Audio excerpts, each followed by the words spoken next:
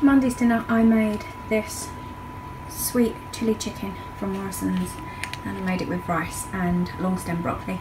So that is Danny's, mine, Cameron's, Liam's, Ollie's and Ella's. Tuesday's dinner I'm making somewhat of a chicken casserole. So I seasoned my chicken in everyday seasoning and Italian seasoning and then I'm going to add some carrots and bits and then make a gravy. I'm going to add some of that southern fried gravy as well.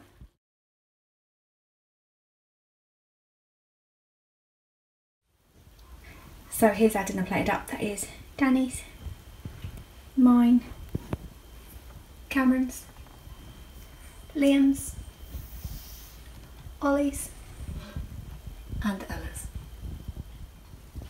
Wednesday's dinner I made homemade meatballs and spaghetti. So that is Danny's, mine, Cameron's, Liam's, Ollie's and Ella's.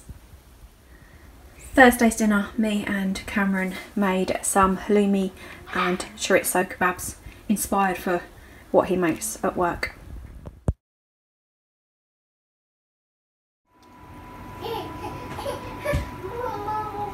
Yeah.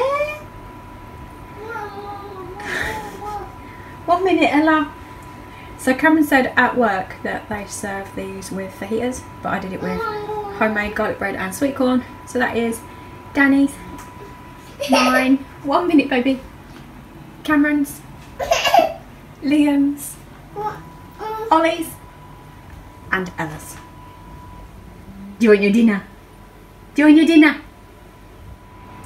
Friday's dinner I done Aldi's barbecue ribs, I done some potato wedges, I put this on there, the American barbecue seasoning and a little garlic and thyme and then peas. So that is Danny's, mine, Cameron's at work, Liam's, Ollie's and Ella's.